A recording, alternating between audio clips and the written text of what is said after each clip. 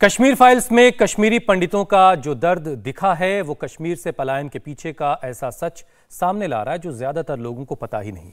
लेकिन कई लोग ऐसे भी हैं जो फ़िल्म पर सवाल उठा रहे हैं। फारूक अब्दुल्ला ने कहा कि हर फ़िल्म अपनी कहानी बयां करती है और यह भी ज़रूरी नहीं है कि हर फ़िल्म सच्ची हो। फारूक अब्दुल्ला ने कहा कि सरकार को जगमोहन की फ़ाइल खोलनी चाहिए और पूरा सच सामने आ जाएगा।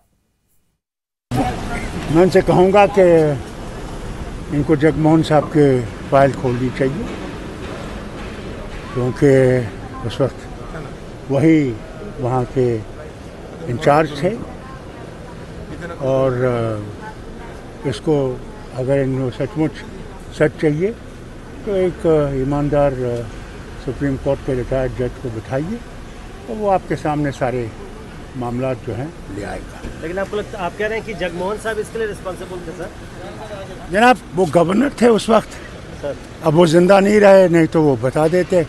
इससे मैं चाहता हूँ कि इसकी इन्वेस्टिगेशन करनी चाहिए।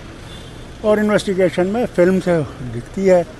हर फ़िल्म अपनी अपनी बयान करते हैं। ये नहीं ज़रूरी है कि हर फ़िल्म सच्ची है।